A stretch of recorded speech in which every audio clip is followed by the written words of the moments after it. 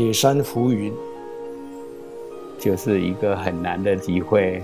一个山林线出现了几棵松树，我觉得这真的有一点的感觉，所以按下了快门。这件作品拍的很像一张山水画，我们看到这个松树云烟缭绕，很有山水画的意境。其实呢，也可以看出来刘处长他的镜头向狼金山学习的意思。我以铁松或者杉树前面的景象，还有云烟缭绕，啊，带入这个意境，来表达我对空灵境界的感受。浮云自足软尘外，游散虚空太古关。